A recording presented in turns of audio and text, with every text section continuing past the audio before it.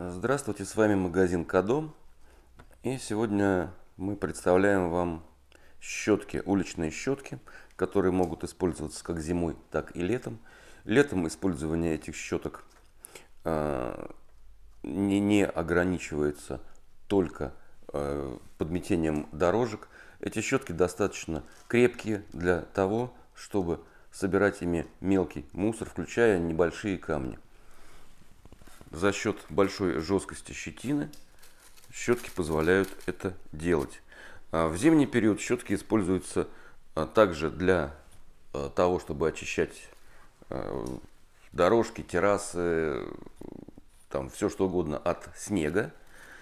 И для зимнего использования у щеток предусмотрено вот такое допол дополнительное устройство для очистки от наледи. Вот такой металлический кант.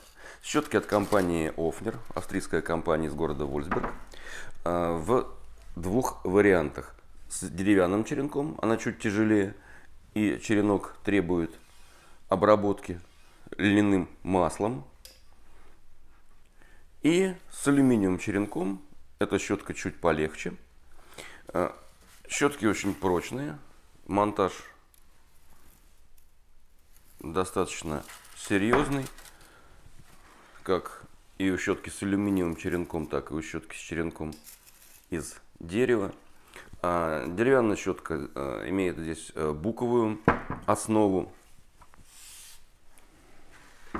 Компания Уфнер зарекомендовала себя как компания, которая производит а, высококачественные изделия достаточно давно, с 17 века. Щетки, естественно, появились значительно позднее. У щеток длинные черенки метр шестьдесят. Щетка с алюминиевым черенком также имеет возможность повесить щетку после использования где-то, э, ну там, где вы ее, собственно, хотите оставить. Черенок у алюминиевой щетки овальной формы. И Рукоять обрезинена. Это для работы зимой. Эта обрезиненная рукоять дает ощущение э, тепла. То есть при небольших температурах можно работать без перчаток. Вот такие щетки от компании Офнер. Вот я вам покажу, насколько они жесткие.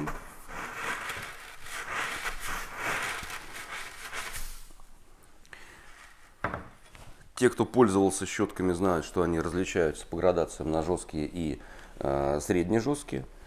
Это щетки жесткие, поэтому они легко справятся с тем, чтобы вымести грязь летом из садовых дорожек или убрать мелкий мусор и камни, э, либо справиться со снегом и наледью при помощи скрипка.